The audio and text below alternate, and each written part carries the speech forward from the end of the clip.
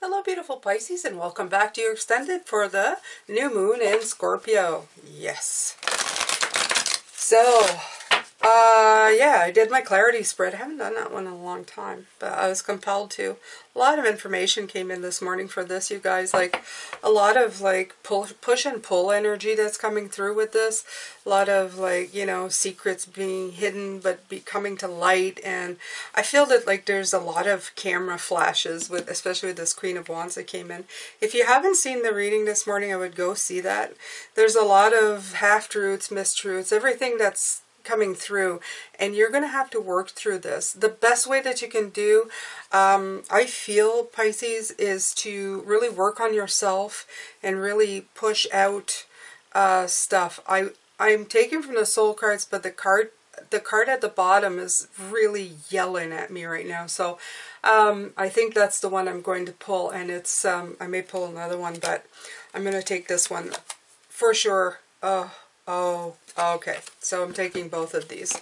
Okay, both cards at the bottom. And I feel very much this is what's going on, okay? I getting the, the, um, what was that? Okay, I heard something.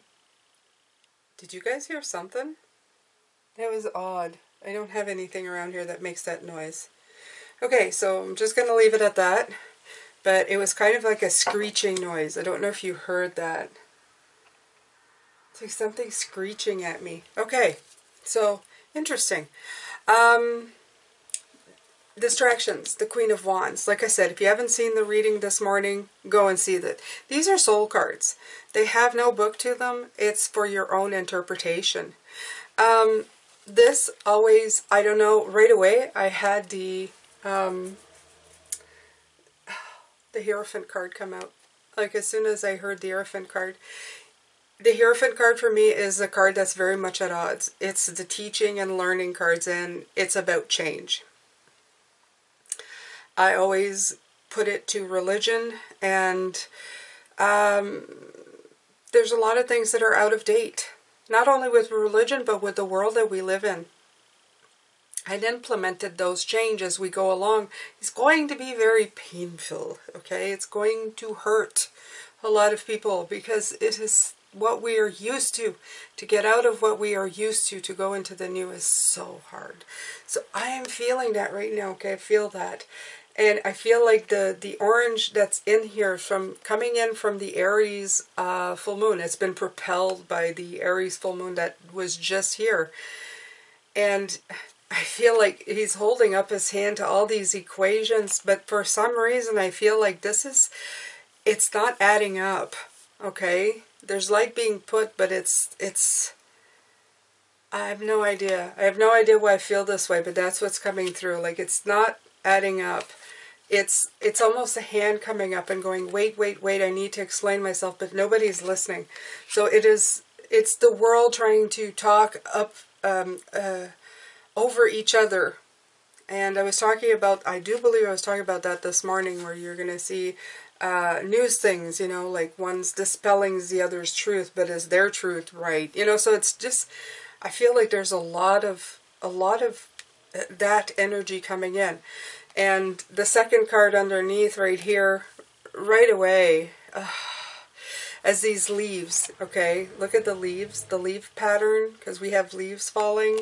I feel that that's what we've been stuck right here. However, if you look at the face of the person here, even though they're in the darkness, which is Scorpio is, deep dark secrets, okay? I feel that in your own darkness, you can use this time to really find stability and happiness. If you just look at this face, this is the face of peace, okay? Around, not so much. But there, here, peace, okay? So I feel that this is like the, the stuff coming around you, but the thing is, is that one of them is coming out of his head, okay? So you may at times feel like you want to join in to, um, I don't know, voice your discontent and I would say yes, but do not put too much of your emphasis there. Not at this time. Not especially if there's a lot of people talking at the same time, because your voice will probably kind of get caught up in that um, I don't know, in that crescendo. Okay, so I'm going to continue. There's another card underneath here, and I'm going to stop with this one. Uh, I don't know. I, I did shuffle these a lot before I came on, so I. But if you look at this, this is this is where I, I would rather see you right here. Okay, there's a rose. This may, and it's not bloomed. It's just sitting here near her lips waiting to be smelled like the the promise of good things to come. And there's a lot of thinking. Like i've said this morning i'm going to be doing the hermit card tomorrow in your need read. So i feel this very much suits what's going on here. I feel that in the darkness that is surrounding us look at all the darkness here. Look at all the darkness swirling around us here okay? I feel it in the darkness that's surrounding us you're holding the light okay and this is this is the important one. You have to hold on to this light. These cards are so profound. Ugh. If you want to read intuitively, get the soul cards. This is the first one, soul cards one. Uh, they're they're remarkable. If you get intuitive hits off of anything, these cards are going to speak to a very um, intense part of you, a very deep part of you. Okay? All right, so here we go. Dad, hello, John. John. John is my father, was my father in real life, died in 2010. Uh, his physical body died. Uh, he has since then been in communication with me because he was loud. He was loud in life, and he has remained loud in in spirit. he does usually speak to me through songs or this one little deck of cards that he used to play cribbage with all the time.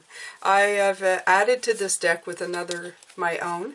So it's like I adding my energy to his. And um, yeah, he would have liked this, this other blue deck too. Come on, you would have loved it. Look at this. Look at this. All this flash, okay? Plus the darkness of it really fits in the hiding of the secrets. So I'm going to clarify these cards here at the top. Those of you who've been here a long time, you know who John is. You know who my dad is. So he's saying hello. Hello. Yeah.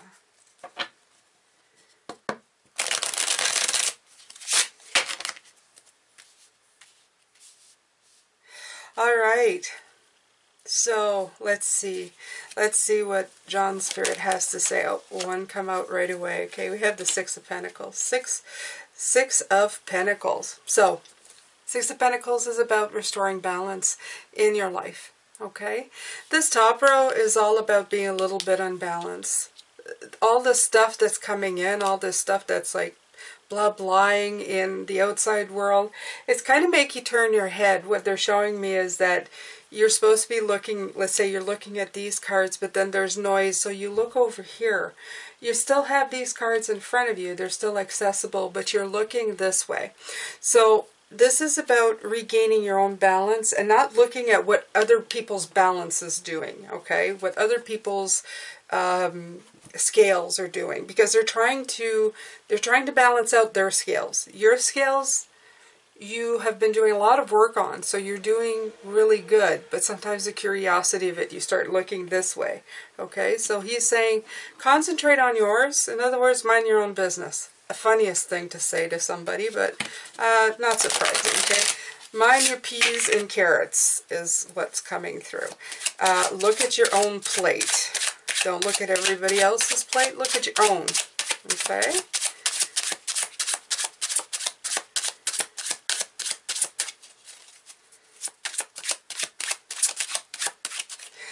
All right. So, the Seven of Hearts. Right. A lot of choices. Okay? So, the thing is, is that the Seven of Hearts also feels sometimes like there's too many choices. There's too many things to look at. There's too many bowls with too many choices. And I feel that um, he's he's saying not to limit your choices, but again, we're going down the path of just pay attention to your own stuff. Okay? Don't look at everybody else's cups or what they're doing. Um, you don't live there anyway. You're probably all the way past what they're looking at, what they're trying to figure out. Again, it's something with curiosity of wanting to uh, see. The release card is telling me they're trying to release their own um, darkness, their their their work, you know, their inner work, their their own personal demons, if you want, and you already had, you've already made your awesome choices. Look at these awesome choices. The Ten of Coins. It's like abundance. Okay, you're working towards your riches of everything, of internal, external, everything. You've got intuition working with you and you're aligning your chakras. So he's saying don't look too much at those choices. They're all looking, they would love to have yours. Theirs is not really at that point yet. They're still working on stuff, okay?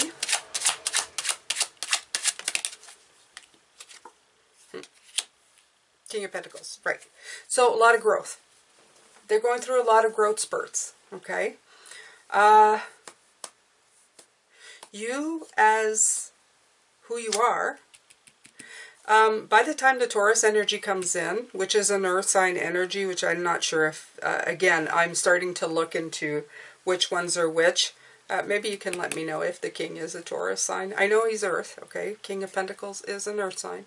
Um, the thing is is that you are working towards you're grounded you're working through your your the way you feel from one end to another so really focus on that focus on your own growth focus on your internal on your abundance everything that's coming in your stability okay i feel like the king of pentacles a very close cousin to the emperor okay like Work on what it feels right for you. There's a lot of balance here. There's a lot of distraction, but it's time to focus back through. Work through your own fears and make your own way. That's basically what those really are right now. Okay. So in the middle, which is like at the heart of you, okay? The top part is like conditions on the outside, what's going on. This is the clarity spread that I usually do. The middle part is really like what's at the core of you, what's at the heart of you. That's too many, but I'll take this one here, the flipped. Okay, you have the two of hearts. And that already came, the lovers, the lovers and the two of hearts, okay? So what you're working on right, I'm going to put these here. What you're working on is at your own sense of harmony. And like I said, the Four of Wands, this is like the table with the legs. They can be strong, but they can get a little, you know, unscrewed. So you might have to screw them back in to make sure that your table is is um, is very good. You have the two underneath here, so two and two and four. Okay, again, it's coming back in that you have to be working at this continually to bring strength back to your table. Okay, you have the strength card here. So it's something that you're working on internally. And we're going to have distractions. We're going to have things coming in. And it's easy to get distracted. Okay, it's easy to look out and go, ooh, what's going on there? Okay, it's like uh, somebody, it's like traffic accidents. Okay, people who rubberneck it. It's not because we're mean, it's not because we're wishing, but it's because it's something exciting or something, I wouldn't say exciting, it makes it sound like, you know, oh, yay, you're, you're, um, your your bad day is like an excitement for me, but it's just um, everyday life, everyday things that we do that are not as quite as brilliant, as shiny, as you know, uh, distracting. Um, it's an atten it's an attention getter. Whoa, what did I just see there? Ooh, the Five of Hearts, right.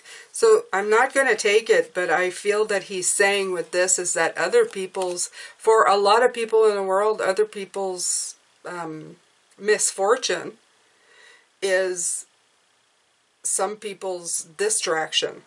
Okay. Thanks, Dad. Okay. So here we go.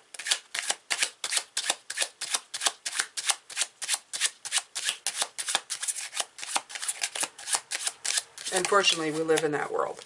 Uh, by the way, I'm not that kind of person. If there is an accident and everybody's slowing down to see if there's, you know, bodies in the road, I'm usually the one beeping at them and telling them, just move and get out of the way and let these people do their jobs. You know, I'm a, I'm not very patient. I'm a nasty person when it comes to that stuff. I do not tolerate that very well because I find that just the lowest form of just mentioning it because it really annoys me. You have the Ten of Pentacles here. So the Ten of Pentacles, again, the Ten of Coins, okay? So back to it. Yes, back to it. Between the Strength and the Lovers, okay? You have a lot of abundance coming in if you can just keep true to your road, to where you're going, okay? To just not following the crowd of watching the accidents of the world, okay? Concentrating on the solutions of the world instead of the accidents. Trying to be of help instead of a hindrance. Always coming through. This is always coming through, okay? That's a part that doesn't make a lot of sense to the world.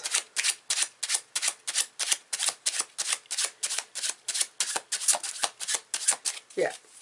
I just, I do find that very despicable. I do find that despicable. There you go. Jane has something that she does not find she has a hard time with. Yes, I do. Okay, so the Seven of Wands. Seven of Wands. Seven of Wands is about overcoming. Okay? So with love, we can overcome things. And as I was talking this morning, all of these distractions, if you can overcome it, your wheel of fortune will start spinning again, which is your wheel of cycles of things to come. And you're going to start getting movement, or that's three of wands. Okay, I'm hearing that again. What is that? That is very weird, you guys. I'm going to have to go investigate after this. Uh, I always feel like I'm hearing a snake. Maybe I'm crazy. Okay, I am. I must be crazy. Okay, so the Seven of Wands right there. Overcoming, overcoming difficulties, overcoming these distractions. Which I'm being distracted big time here. okay. In the spirit, in the spirit realm, what they saying? All of these conflicts, everything that we're going through, there's clarity to be had, okay? Yeah.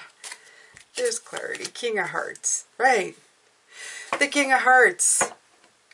He is the king who sits uh, on his throne of emotional calm in a sea of turbulence. I mean, it kind of says it all, doesn't it? Okay? If you can rise up to these challenges, to these conflicts with calmness and you know, rationale and, and everything that you need to be aligned, working on yourself, uh, helping others um, instead of being distracted by the ridiculousness of everything, you're going to help you're going to help yourself move forward, okay? And you're going to help others and yourself see clarity. So it's this full this um, new moon in Scorpio, it's asking you to go in deeper, but deeper in the way of working through everything that needs to be released to get away from everybody who's screaming and trying to release the old stuff. This is all all release. Like it's I feel like I'm in a in a in in a you know those old movies where they have those uh the people who are you know uh, mentally distressed in wards and they're screaming and they're trying to calm down the people. I, I'm getting a lot of that right now. I'm getting a lot of madness, okay?